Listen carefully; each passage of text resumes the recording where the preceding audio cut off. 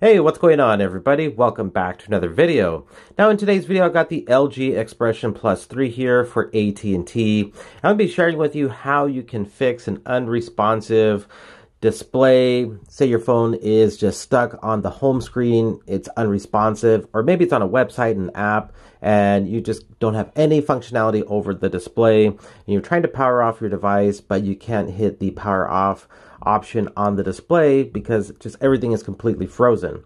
So I'm going to go ahead and share with you exactly how you can fix that issue. Now just keep in mind with the LG Xpression Plus 3 here, like many newer phones, the battery is sealed into the device. So this back cover is non-removable. So I know a lot of us had devices in the past where if your phone did become stuck, all you had to do is just, you know, pop off the back cover, take out the battery, put it back in, and then your phone would restart. But a lot of these newer phones, you're not able to remove the back cover and remove the battery. So, so let me go ahead and demonstrate exactly how you can fix this unresponsive display here phone. What you want to do is press the power button as well as the volume down button. You want to press them both and hold them down for eight seconds. Now this might even take a screenshot because this is basically the way to take a screenshot.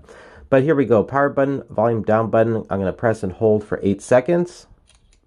As you can see, it took the screenshot, but keep holding. And then you're gonna get a message to the bottom there that the phone's going to restart. Once it restarts, it shuts off.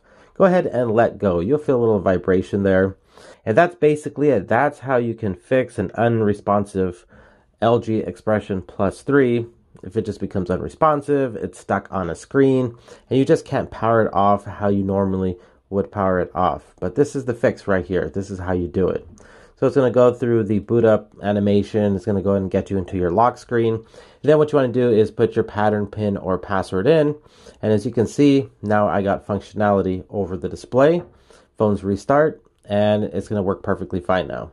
So that's basically it. If you found this video helpful, informative in any way possible, please hit that thumbs up button. And please subscribe to the channel for more future videos just like this. All right, everybody. Thanks for watching. Thanks for subscribing. And I will talk to you on the next one. Bye.